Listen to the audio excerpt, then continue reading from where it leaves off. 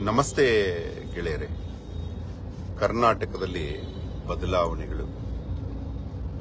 ಕಲ್, ಕರ್ನಾಟಕದ ಅಭಿವೃದ್ಧಿ, ಮೊಟ್ಟ ಮೊದಲ ನ್ಯಾಯಾಂಗದಲ್ಲಿ ಸುಧಾರಣೆ. ಕರ್ನಾಟಕದಲ್ಲಿ ನ್ಯಾಯಾಂಗದಲ್ಲಿ ಸುಧಾರಣೆ, ವ್ಯವಸಾಯದಲ್ಲಿ ಸುಧಾರಣೆ. ಇವು ಕಂಡು ಬಂದಾಗ ಕರ್ನಾಟಕ ಅದ್ವಿತೀಯವಾಗುತ್ತದೆ. ಹೆಣ್ಣ ರಕ್ಷಣೆಯಲ್ಲಿ ಸುಧಾರಣೆ. ಇದು ಬಂದಿದೆ ಅಂದ್ರೆ ಆ ಸರ್ಕಾರ ಮತ್ತೆಂದಿಗೂ ಬೀಳೋದಿಲ್ಲ. ಈ ಮೂರನ್ನ ಯಾರು ಕಾಪಾಡ್ತಾರೋ ಆ ಸರ್ಕಾರ ಎಂದಿಗೂ ಹೋಗೋದಿಲ್ಲ.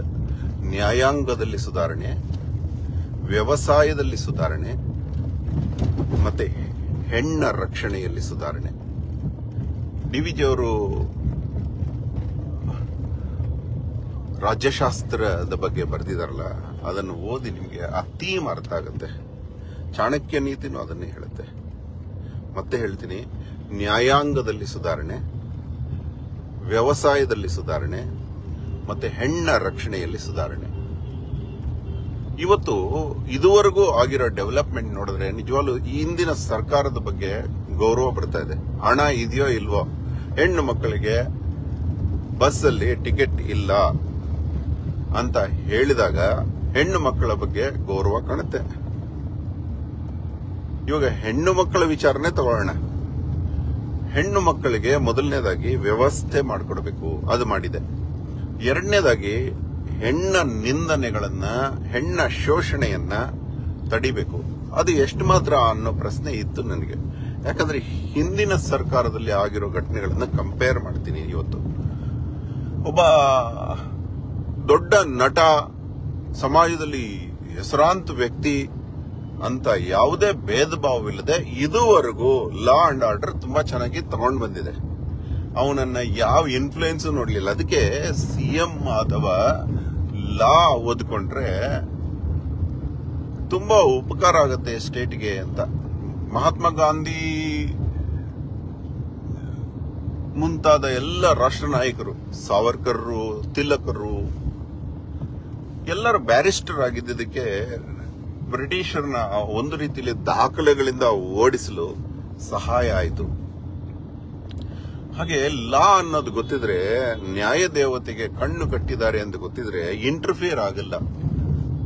ಇಂಟರ್ಫಿಯರ್ ಆದ್ರೆ ತಮ್ಮ ಕಣ್ಣು ಹೋಗುತ್ತೆ ಅನ್ನೋದಕ್ಕೆ ಹಿಂದಿನ ಸರ್ಕಾರ ಕರ್ನಾಟಕದಲ್ಲಿ ಕಾರಣ ಆಗುತ್ತೆ. ಯಾಕಂದ್ರೆ ಇವತ್ತು ಇದೇ ಕೊಲೆಗಡುಕ ಮತ್ತು ಆತನ ಅಭಿಮಾನಿಗಳು, ಹೆಣ್ಣ ನಿಂದನೆ ಮಾಡಬೇಡವೋ ಅಂತ ಹೇಳಿದ ಮಾತ್ರಕ್ಕೆ ನಿನ್ನ ನಡು ರಸ್ತೆಯಲ್ಲಿ ಕೊಲೆ ಮಾಡ್ತೀವಿ ಅಂತ ಹೇಳಿದ್ರು.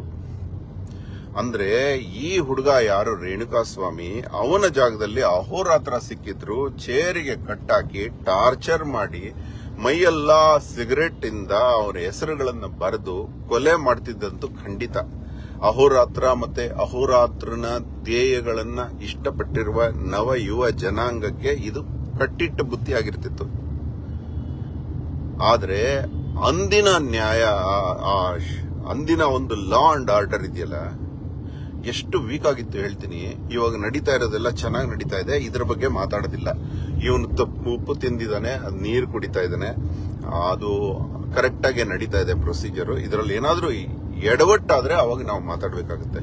ಆದರೆ ಈ ಕೃತ್ಯವನ್ನೇ ಈ ಕೃತ್ಯವನ್ನೇ ಅಂದು ಹೆಣ್ಣು ಮಕ್ಕಳು ಮತ್ತು ಎಂಟನೇ ತರಗತಿ ಓದುತ್ತಿರುವ ಒಂದು ಹೆಣ್ಣು ಮಗು ಇರುವ ಮನೆಗೆ ಪೊಲೀಸ್ ಕೂಡ ಒಂದು ಮನೆ ಒಳಗಡೆ ನುಗ್ಗಬೇಕು ಅಂದ್ರೆ, ಯಾರನ್ನಾದ್ರೂ ಅರೆಸ್ಟ್ ಮಾಡಬೇಕು ಅಂದ್ರೆ ವಾರೆಂಟ್ ತಗೊಂಡು ಡೀಸೆಂಟ್ ಆಗಿ ಬರ್ತಾರೆ. ಅಂತದ್ದು ಕಿಚ್ಚ ಸುದೀಪ ಎಂಬ ದುಷ್ಟ ಶಕ್ತಿಯ ಅಭಿಮಾನಿಗಳು ಅವನ ಹೆಸರನ್ನ ಘೋಷಿಸಿಕೊಂಡು ಮನೆಯೊಳಗೆ ನುಗ್ಗಿ ಆವತ್ತು ಅಹೋರಾತ್ರನ ಹತ್ಯೆ ಘೋರವಾಗಿ ಇದೇ ರೀತಿ ನಡೀತಾ ಇತ್ತು ಇದಕ್ಕಿಂತ ಘೋರವಾಗಿ ನಡೀತಿತ್ತು. ಆವತ್ತು ವೃಕ್ಷ ರಕ್ಷಕರು, ಆವತ್ತು ಕರ್ನಾಟಕದ ವಿವಿಧ ಭಾಗಗಳಿಂದ ಬಂದು ಗವಿ ಗಂಗಾಧರೇಶ್ವರ್ನಿಂದ ಹಿಡಿದು ವಸಂತ ವಲ್ಲಭರಾಯ ದೇವಸ್ಥಾನದವರೆಗೂ ಇರುವ ಮರಗಳ ರಕ್ಷಣೆಗೆ ನಾವು ಹೋಗ್ತಾ ಆ ಯಾವ ಮನೇಲಿ ಅಟ್ಯಾಕ್ ಮಾಡಿದ್ರು, ಆ ಮನೆಯಲ್ಲಿ ಊಟಕ್ಕೆ ಕುಂತಿದ್ದವು ಊಟವಾದ ನಂತರ ದೇವರ ಬಗ್ಗೆ ಚರ್ಚೆ ನಡೀತಾ ಇತ್ತು. ದೇಶದ ಬಗ್ಗೆ ನಡೀತಾ ಇತ್ತು. ದೇಹದ ಬಗ್ಗೆ ನಡೀತಾ ಇತ್ತು. ಆ ಸಂದರ್ಭದಲ್ಲಿ ಅಟ್ಯಾಕ್ ಮಾಡಿದಂತಹ ಕಿಚ್ಚಾ ಸುದೀಪನ ಬಲಗೈ ಬಂಟ ಎನ್ನಿಸಿಕೊಂಡಿರುವ ನವೀನ್ ಗೌಡನ ನೇತೃತ್ವದಲ್ಲಿ ಸಂತೋಷ್ ರೆಡ್ಡಿ ಮುಂತಾದವರು ಮೂವತ್ ಮೂವತ್ತೈದು ಜನ ಆದ್ರೂ ಇರ್ಬೋದು, ಮನೆ ಒಳಗಡೆ ಏಕಾಏಕಿ ನುಗ್ಗಿದ್ರು. ಪರ್ಮಿಷನ್ ಇಲ್ಲ ಕಾಲಿಂಗ್ ಬೆಲ್ ಇಲ್ಲ, ನುಗ್ಗಿದು ನುಗ್ಗಿದ್ದೆ.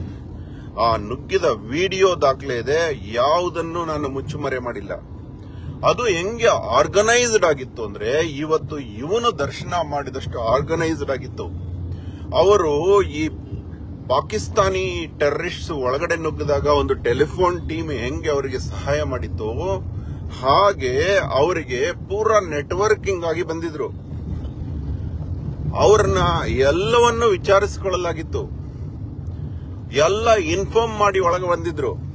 ಅದಕ್ಕೆ ಮುಂದಿನ ಡೆವಲಪ್ಮೆಂಟ್ಸ್ ಹೇಳ್ತೀನಿ. ಇಷ್ಟೆಲ್ಲ ಆದರೂ ಅವರು ಒಳಗಡೆ ನುಗ್ಗಿ ಹೊಡೆಯಲಾಗಲಿಲ್ಲ. ಯಾಕಂದ್ರೆ ಡಿಫೆನ್ಸ್ ಆಗಿ ನಮ್ಮ ಹುಡುಗರು ಗೋಡೆಯಾಗಿ ನಿಂತ್ಕೊಂಡ್ರು. ನಾವು ಯಾವತ್ತೂ ಅಟ್ಯಾಕ್ ಮಾಡೋರಲ್ಲ ಗೋಡೆಯಾಗಿ ನಿಂತ್ಕೊಂಡು ಅವ್ರನ್ನ ರೂಮ್ ಒಳಗೆ ಬರಕ್ಕೂ ಬಿಡ್ಲಿಲ್ಲ.